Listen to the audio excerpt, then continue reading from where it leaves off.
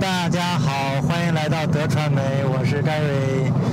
今天呢，因为要去送东西，所以就驾车出来，顺便路上拍一点东西给大家看一看。现在看来呢，路上的车还是不少的，有送货的车，哎，还有个警车。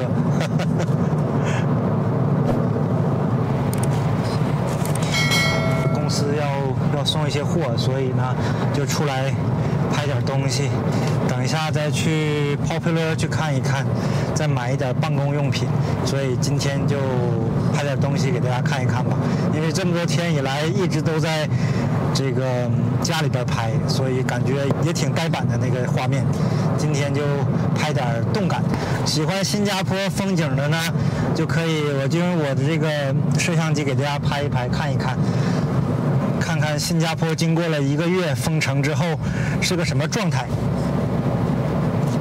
基本上路上是没有人的，前边是那个送餐的 Grab Food，这几个骑车送餐的，还有最近听说这个新加坡的送餐很火爆，还有昨天听到一个新闻，有一个送餐去楼上，结果被一个 不明男子追着打了好几层楼，什么怪事都有，是不是在家憋疯了？遇到送餐的撒出一出气、啊？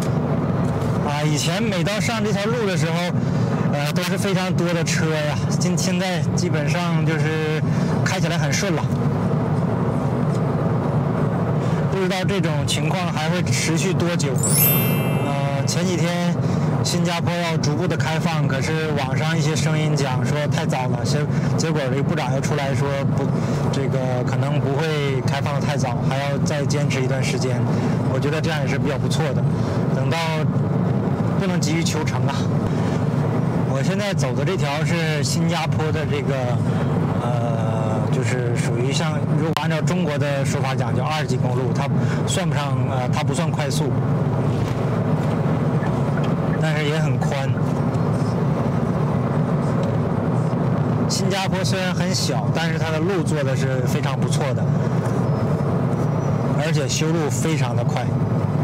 晚上。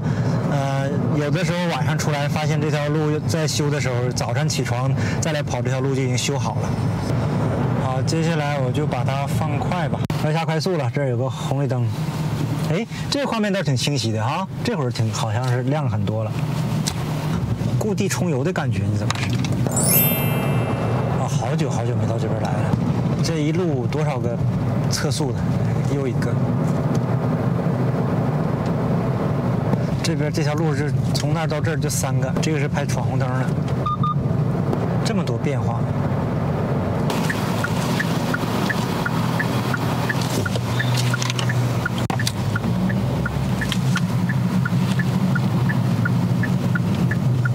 他要从这走就从这走吧。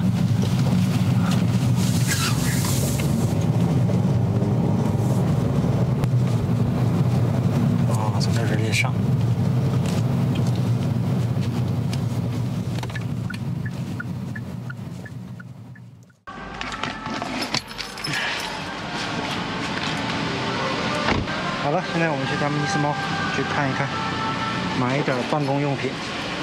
啊，就这个门是可以的。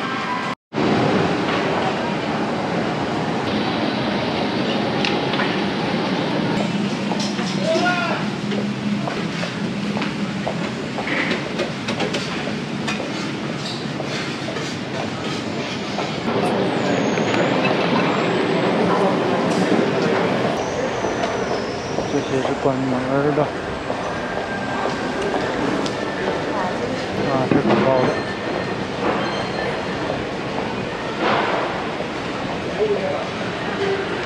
啊，眼镜店还可以开。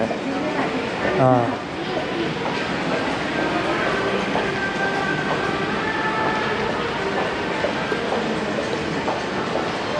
衣服店全部都关了，眼镜店是开着的。这个饭店都是送食，都可以只能送了。啊，Grab Food 可以。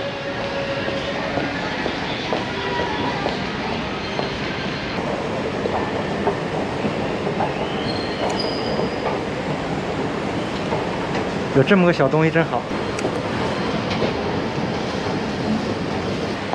哇，好多店都关门了。哦，oops，啊，好多店都关门了。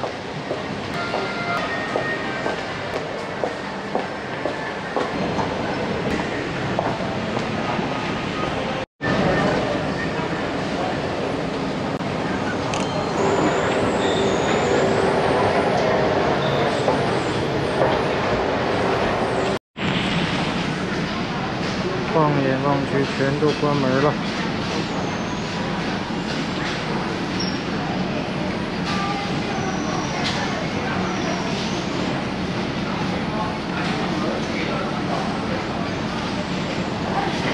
面包店在开。